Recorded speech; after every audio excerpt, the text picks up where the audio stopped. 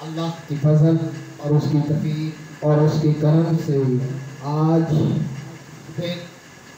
तिलतजा शरीफ का दर्स, निसाब, तलबात का और इमाम तिलमजी शरीफ ने बाप बांधा और बाप बाप मज़ा अनमुमिना या को फरमाया कि मोमिन एक आँख में खाता है और काफर सात आँखों में खाता है। इस पर बाप बांधा अब मैं ये बात कई बार बताई है कि जो बाप आना जा, बांधा जाता है किसी भी हदीस की कुतब में ये हदीस नहीं होती है ये तर्जुमा तो बाप होता है।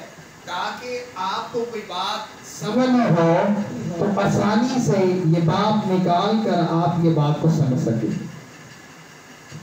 अदीस को रवायत करने वाले हज़रत उबैदुल्ला और नाफे और नाफे ने अनिब उमर अन्नबी सल्लल्लाहु अलैहि वसल्लम काला अल काफिर याकुरु इस सबअती फरमाया कि काफिर खाता है सात आंतों में। वल मोमिनो याकुलु फ़ी फ़ी मिआ वाहिदुन और मोमिन एक आंत में खाता है। और अगली हदीस भी हज़रत इब्ने उमर से रवायत है, और वहाँ पर भी यही बात, यही फरमान है कि काफर सात आंतों में खाता है और मोमिन एक आंत में खाता है। अगली जो हदीस वो हदीस को रवायत करने वाले हज़रत अबू हुरैरा रज़ी अल्लाह अन्हु हैं। और अबू हुरैरा रज़ी अल्लाह अन्हु मैंने पहले अर्ज़ की थी कि अबू हुरैरा ये इनका आका सलाम ने इनको एक लकब अता फरमाया इनको बनियों से प्यार था तो हजूर ने फरमाया था बनियों वाले अब यहाँ पर अब, अबू हुरैरा का माना बिलियों के बाप नहीं, बल्कि बिलियों वाले सहाबी। असल इनका नाम अब्दुल रहमान था और दौरे जहलीत के अंदर इनका नाम अब्दुल शम्स था। सूरज की पूजा करते थे और जब इस्लाम कबूल किया तो तब इनका नाम अबू हुरैरा हो गया। अब्दुल रहमान और फिर बनियों से प्यार की वजह से अबू हुरैरा हो गया।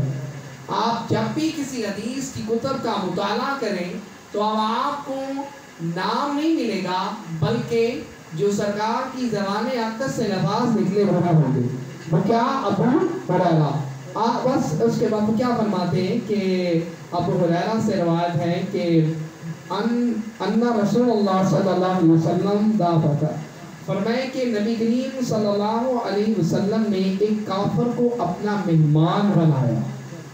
का दे काफर को अपना मेहमान बनाया, फआमरा। फआमरा लाहु रसूलुल्लाह सल्लल्लाहु अलैहि वसल्लम।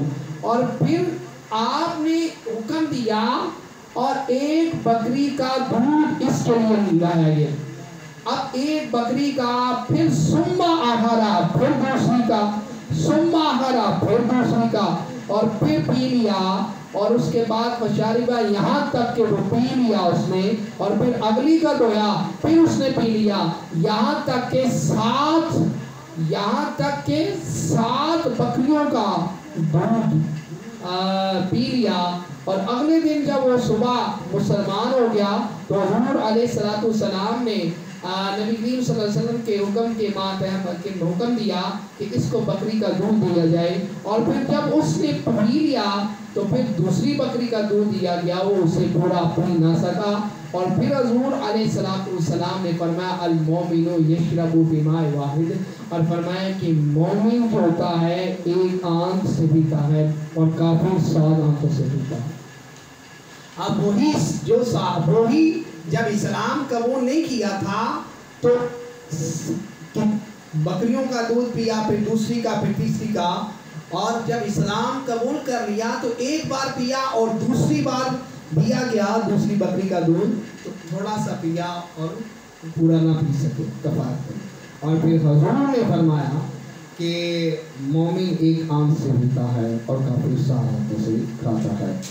बाप ख़त्म होने लगा है, इसी के ज़िमन में बात है, वो ये है, वो क्या फरमाते हैं, हज़रत अबू हुरैरा वहाँ से रवायत है और वो फरमाते हैं, काला रसूल अल्लाह सल्लल्लाहु अलैहि वसल्लम ताम उसने और फरमाया कि अबू हुरैरा से रवायत है कि नबी करीम सल्लल्लाहु अलैहि वसल्लम ने फरमाया कि दो आदमियों का खाना तीन के लिए कफायत कर जाएगा और तीन का खाना काफ़ी अरबता चार को कफायत कर जाएगा दो आदमियों का खाना तीन के लिए काफ़ी है, तीन अपराध के लिए काफ़ी है और तीन का खाना चार के लिए कफायत करते हैं।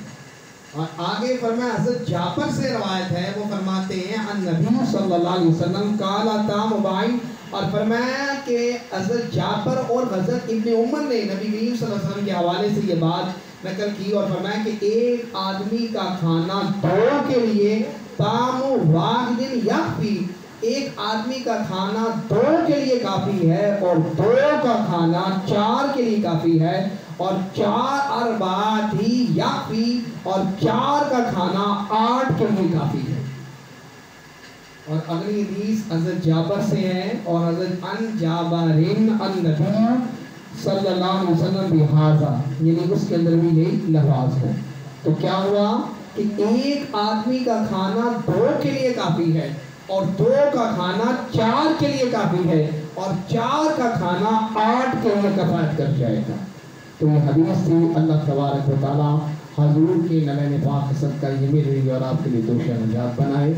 और ये हजूर का फरमान है कार रसूल अल्लाह है और सियासता की हदीस है। इल्म शरीफ की हदीस, अल्लाह तबारक व ताली हजूर के दर आकल के नलन पाक सदका ये मेरे लिए और आपके लिए तोहफा नजात बनाए सल्लल्लाहु अलैहि मोहम्मद